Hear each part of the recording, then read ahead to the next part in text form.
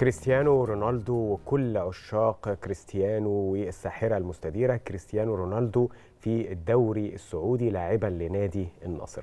ده خبر اتأكد في الساعات الأولى من صباح اليوم وفقا للصفحات الرسمية لنادي النصر السعودي على السوشيال ميديا واللي نشرت صورة رونالدو وهو بيحمل قميص النادي.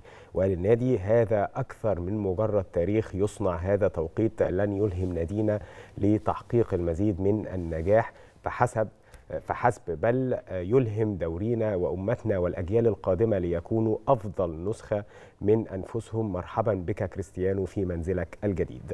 بداية جديدة لرونالدو بعد يعني عثرات يعني يمكن حصلت له في أواخر 2022 ما بين ناديه السابق مانشستر ومنتخب بلاده في البرتغال.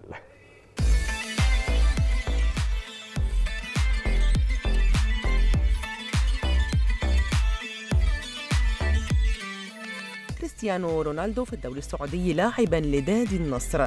تلك الأنباء التي تصدرت عناوين الصحف ووكالات الأنباء ومحركات البحث على الإنترنت وباتت حديث وسائل الإعلام العربية والعالمية لنقل الخبر والتأكد من صحته. وسيمثل انضمام رونالدو إلى فريق النصر السعودي قيمة فنية كبيرة وتسويقية للنادي ولدوري روشن السعودي الذي بات محط الأنظار كونه الأبرز في منطقة الشرق الأوسط والقارة الآسيوية خاصة وأن صاروخ ماديرا الحاصل على جائزة الكرة الذهبية خمس مرات سيلعب لأول مرة في الشرق الأوسط بالدوري السعودي.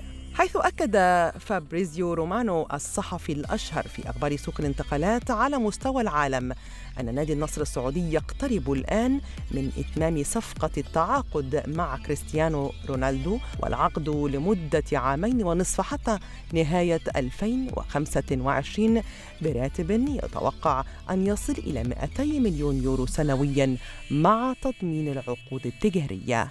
Cristiano Ronaldo to Al Nasr. The deal is signed, is official, is an historical moment because it's the biggest contract, I mean, salary, of course, in the history of football. رونالدو البالغ من العمر 37 عاما والذي يعد الهداف التاريخي لكرة القدم.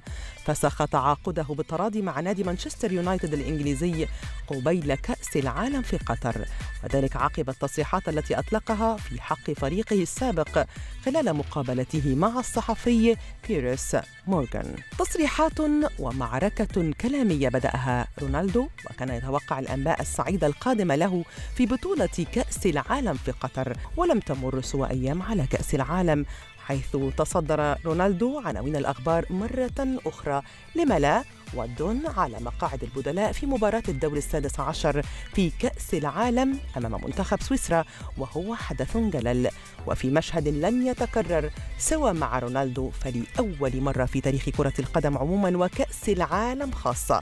تتجه عدسات الكاميرات والمصورين صوب مقاعد البدلاء بدلا من اللاعبين الأساسيين الواقفين على خط واحد قبل بداية المباراة لترديد النشيد الوطني لبلادهم. أحلام رونالدو تبددت وباتت هباء منثورا بعد مغادرة البرتغال لكأس العالم من دور الثمانية على يد منتخب المغرب. وقبل انضمام رونالدو إلى نادي النصر حقق في تاريخه 32 بطولة.